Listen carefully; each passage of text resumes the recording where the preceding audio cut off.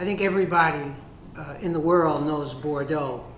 If you're going down the Amazon River and you come upon a pygmy and you talk about French wines, you'll say Bordeaux. And we're going to be tasting some Bordeaux's. And I always believe that, like Chianti, Bordeaux is not one wine, it's a thousand wines. There are reds and whites and rosés. And uh, because of financial restraints, we usually taste something that's pretty young. And that's really not the whole story of Bordeaux because Bordeaux's, which are Cabernet Merlot based generally, uh, age very well. So we will try to taste a classified growth.